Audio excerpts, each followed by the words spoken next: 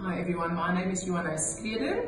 I'm the Training Development Officer at NGI Base Gordon and I'm also the chairperson of AGC. We had our meeting today and um, as always it was really insightful, lots of discussions, just maybe three things that stood out for me. We had feedback from a variety of stakeholders, SAIPA, IRBA, PAFA, um, the AG, so, so we really get a, a good feel of what's happening in the profession assurance-wise. We also discussed comment letters in response to exposure drafts um, on various guides or standards. One thing perhaps to mention is the SAAPS 3, the changes to the, the audit report guide.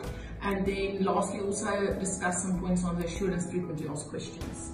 So I think it's been a very productive morning and we're already looking forward to the next meeting.